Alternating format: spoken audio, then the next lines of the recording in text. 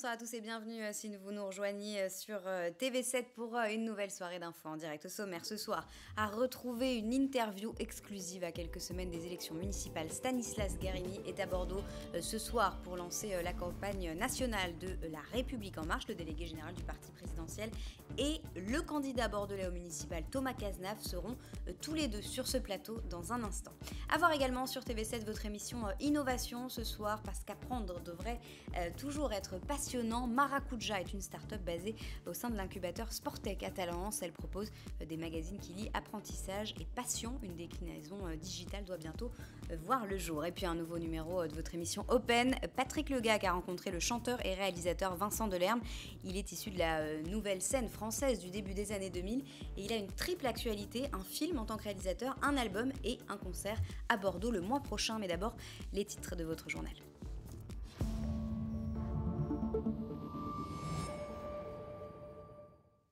Une nouvelle journée de mobilisation ce jeudi contre la réforme des retraites. L'intersyndicale a rassemblé euh, plus de monde que mardi avec une mobilisation qui a débuté devant le lycée Magendie de Bordeaux tôt ce matin. La campagne des municipales bat son plein. Pierre Urmic a dévoilé ce matin 50 propositions de son programme avec trois thèmes majeurs, l'écologie, le social et la démocratie. Et un nouvel accroc pour la déviation du taille en médoc. Deux associations viennent de déposer un recours en annulation euh, pour contester la reprise des travaux. La déviation doit permettre fin 2021 d'interdire les camions en centre-ville. La météo, ça se gâte demain dans le ciel de Gironde. Des averses à prévoir tout au long de la journée. Les températures euh, sont toujours douces. Par contre, il fera entre 11 euh, et 13 degrés au meilleur de la journée. Une nouvelle mobilisation contre la réforme des retraites ce jeudi après des chiffres en baisse mardi. Ils étaient plus nombreux à manifester euh, aujourd'hui. La préfecture parle de 4500 personnes alors que les syndicats estiment à 10 000 le nombre de manifestants. L'objectif est toujours le même, faire céder le gouvernement. Tony Molina et Robinson Landers étaient sur place.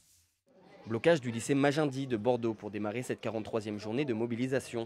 Avant de s'intégrer dans la manifestation, enseignants et élèves se sont installés devant les grilles de l'établissement qui sont restées fermées jusqu'à 11h. Grande satisfaction que les étudiants nous soient venus nous soutenir, les cheminots, les gilets jaunes, les euh, professeurs de la faculté, les enseignants des autres établissements scolaires de Bordeaux.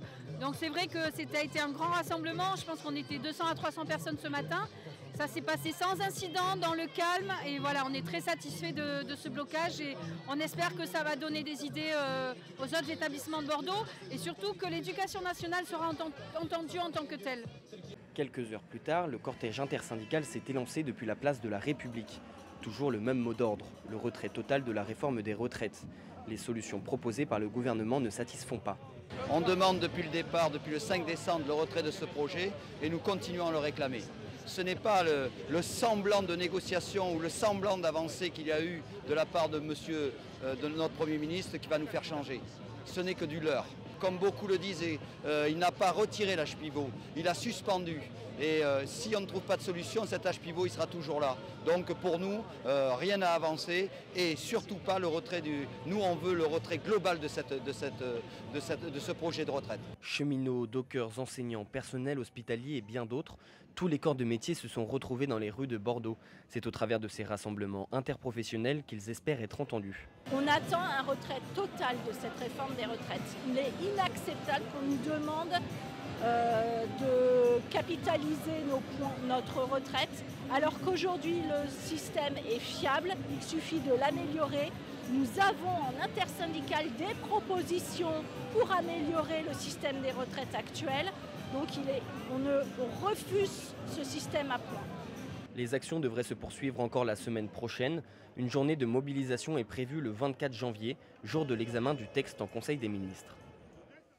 Et dès ce soir, une nouvelle action des avocats. Ils ont prévu euh, d'interpeller la députée de la République en marche de Gironde, euh, Catherine Fabre, à l'occasion de sa cérémonie euh, de vœux. Ça se passe ce jeudi soir, cours Mabli. Un œil maintenant sur les prévisions de trafic à la SNCF pour ce vendredi. Le trafic revient hein, quasiment à la normale. Demain, vous le voyez, vous pourrez compter sur 8 TER sur 10. Pour les TGV, il y en aura 9 sur 10 en circulation. Et pour les Ouigo, le trafic sera normal ce vendredi en revanche, il y aura seulement 5 euh, intercités sur 10 en circulation et vous retrouvez bien sûr toutes les infos euh, train par train sur le site sncf.com.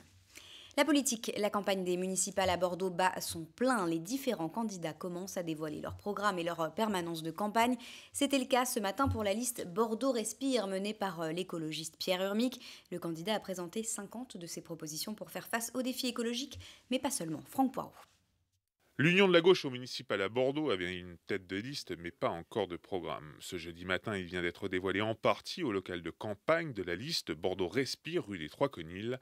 Son chef de file, l'écologiste Pierre Urmic, livre une première série de 50 propositions. Elle s'articule autour de trois axes l'urgence écologique, le social et enfin la démocratie, avec en ligne de mire l'alternance au sein du Palais Rouen. On travaille ensemble depuis le mois de juin, mais c'était sur du programmatique. Hein. On n'est pas sur euh, une campagne qui pourrait, euh,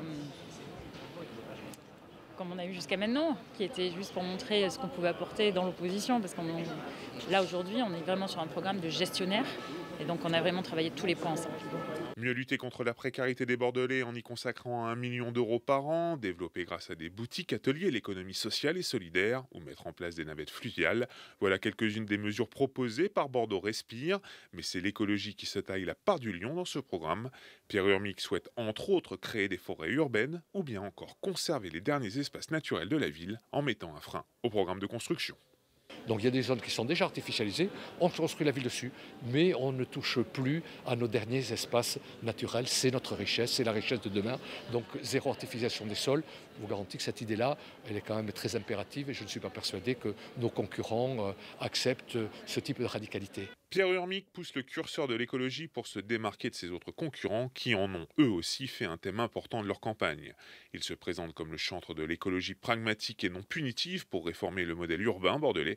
Il aura l'occasion de détailler toutes ces mesures et sa stratégie à l'occasion d'un meeting qui aura lieu à l'Athénée municipal de Bordeaux le 29 janvier prochain.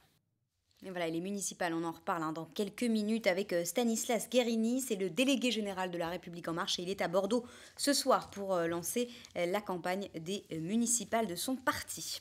Nouveau rebondissement dans le feuilleton de la déviation du Taillant Médoc. Deux associations, Naturjal et France Nature Environnement, ont déposé un recours contre l'arrêté préfectoral de septembre dernier qui permettait la reprise des travaux. Le projet porté par le conseil départemental de la Gironde permettrait de dévier d'ici 2021 les quelques 1500 poids lourds qui traversent quotidiennement le centre-ville, mais il sacrifierait une biodiversité exceptionnelle. C'est ce que dénoncent en tout cas les associations, avec aussi un risque de pollution de l'eau. On fait le point avec Dominique Parmentier.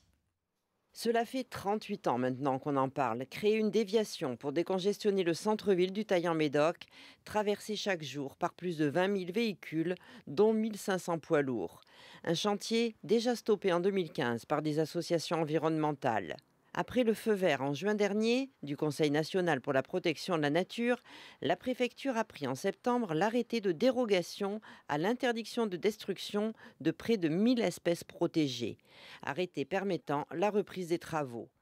En sacrifiant une biodiversité exceptionnelle, dénoncent les associations à l'origine de ce nouveau recours. Au fur et à mesure des études qui ont été faites et qui étaient nécessaires pour obtenir l'autorisation de ce projet, euh, on a découvert une richesse incroyable dans euh, précisément la zone d'impact. Maintenant, à quoi ça sert de le savoir si c'est pour euh, la détruire et surtout pour payer pour la détruire?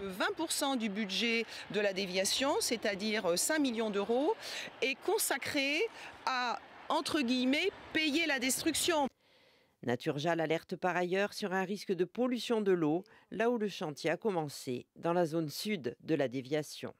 Au niveau d'un cours d'eau qui s'appelle le monastère, c'est une zone à risque que nous avons déjà signalée, puisque à cet endroit-là, euh, le tracé de la future déviation, il euh, se trouve dans une zone où il y a une nappe euh, d'eau potable. Hein. Et euh, cette nappe, elle a la particularité d'être très très peu profonde. Étant donné la faible épaisseur, il y a un gros problème de pollution.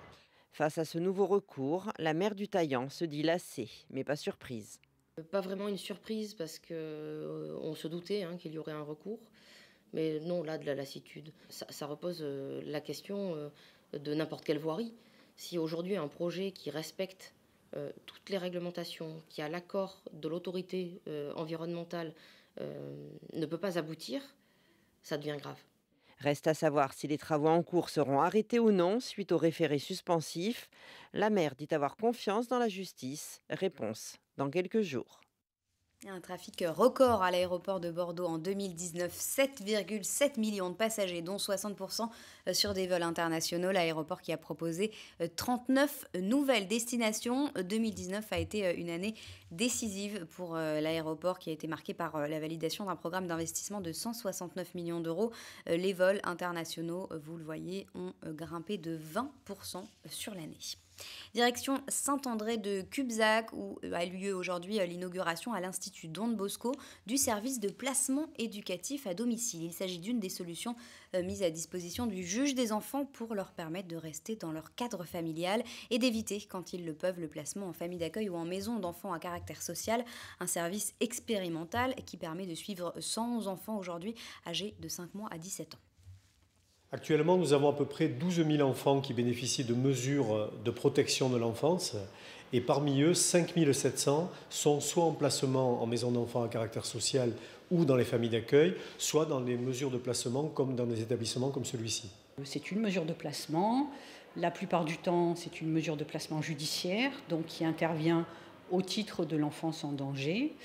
Euh, mais ce sont des mesures qui s'exécutent à domicile. Donc la mission des travailleurs sociaux, des professionnels, c'est de venir soutenir euh, les parents et aider euh, les enfants ou les adolescents pour que, dans la mesure du possible, ils restent au domicile familial et qu'ils ne soient pas séparés de leurs parents, de leur environnement habituel. L'idée, c'est de, en fait, de proposer un soutien, une aide euh, sur ce que les familles ne savent pas faire, mais de prendre en considération le fait qu'il y a des choses que aucun professionnel ne sait mieux faire qu'une famille, c'est-à-dire les liens familiaux, euh, les liens d'attachement, l'affectivité, et donc euh, de travailler avec eux au domicile, au domicile, de maintenir les enfants au domicile, autant que faire se peut. Et à noter cette disparition inquiétante sur le bassin d'Arcachon. Depuis lundi, ses proches euh, sont euh, sans nouvelles de Béatrice Dos Santos. C'est une euh, jeune femme de 17 ans. Si vous avez des informations, vous contactez la brigade de Gujan-Mestras au numéro qui s'affiche sur votre écran. Et puis, nous diffusions hier soir un avis de recherche publié par la police nationale. Bonne nouvelle, Reda a été retrouvée en bonne santé ce mercredi soir. L'enfant de 12 ans avait disparu durant 24 heures. Il avait été vu pour la dernière fois dans le secteur de Gazinet, à Cestas.